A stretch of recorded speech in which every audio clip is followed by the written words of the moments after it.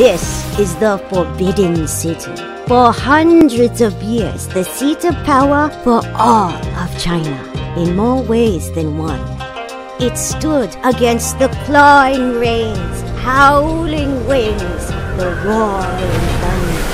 And when mighty stone walls were not enough to hold back the darkness, we had the Guardians.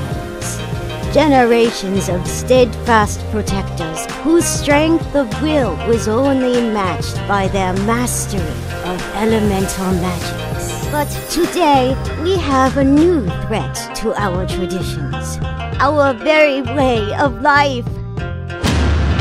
Taurus.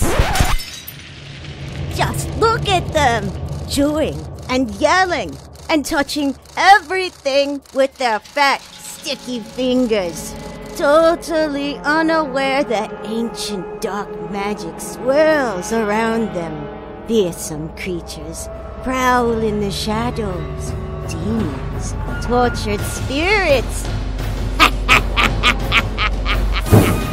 Who will stand against the coming storms?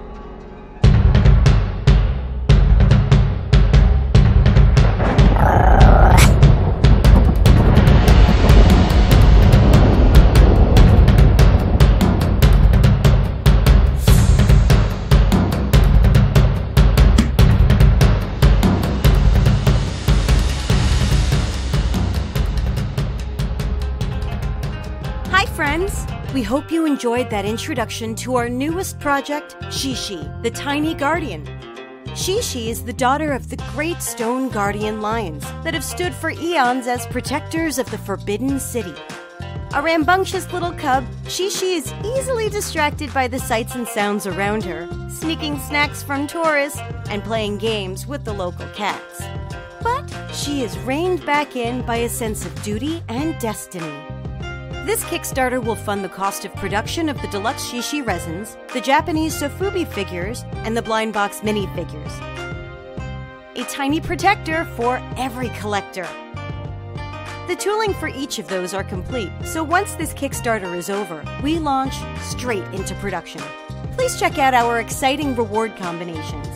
We greatly appreciate all your support and shares. Thanks for helping us bring Shishi to life.